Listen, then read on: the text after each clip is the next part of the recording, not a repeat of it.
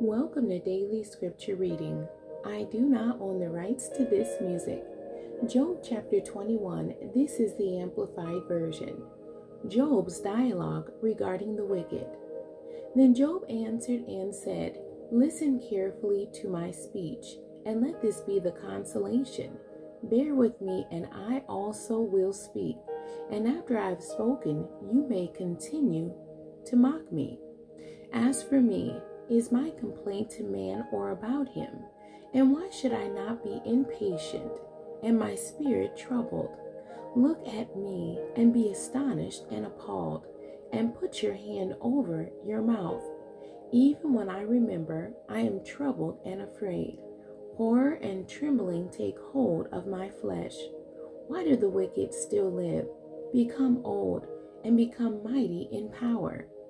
Their children and descendants are established with them in their sight, and their offspring before their eyes.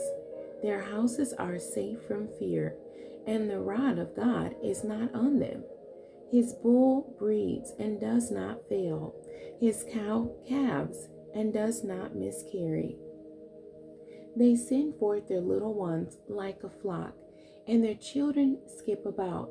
They lift up their voices and sing to the tambourine and the lyre, and rejoice to the sound of the flute. They fully enjoy their days in prosperity, and so go down to Sheol, the netherworld, the place of the dead, in a peaceful moment. Yet they say to God, Depart from us, for we do not desire the knowledge of your ways. Who and what is the Almighty, that we should serve him, and what we gain and what should we and what will we gain if we plead with him? But notice, the prosperity of the wicked is not in their hand, in their power. The counsel of the wicked and the mystery of God's dealings with the ungodly is far from my comprehension. How often then is it that the lamp of the wicked is put out, and that their disaster falls on them? Does God distribute pain and destruction and sorrow to them in his anger? Are they like straw before the wind, and like chaff that the storm steals and carries away? You say, God stores away the punishment of man's wickedness for his children. Let God repay him so that he may know and experience it.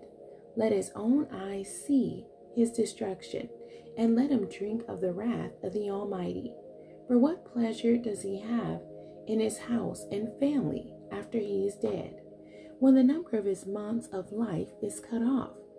Can anyone teach God knowledge, seeing that he judges those on high? One dies in his full strength, being wholly at ease and quiet and satisfied.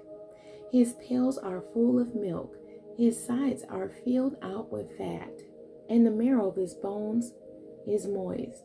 Whereas another dies with a bitter soul, never even tasting pleasure or good fortune. Together they lie down in the dust, and the worms cover them. Behold, I know your thoughts, and the plots by which you would wrong me. For you say, Where is the house of the noble man? And where is the tent, the dwelling place of the wicked? Have you not asked those who travel this way? And do you not recognize their witness? that evil men are now reserved for the day of disaster and destruction.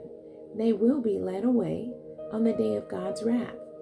But who will confront him with his actions and rebuke him face to face? And who will repay him for what he has done? When he is carried to his grave, a guard will keep watch over his tomb. The dirt, clods of the valley, are sweet to him and gently cover him. Moreover, all men will follow after him to a grave, while countless ones go before him. How then can you vainly comfort me with empty words, since your answers remain untrue? The end. God bless you and thank you for joining me today.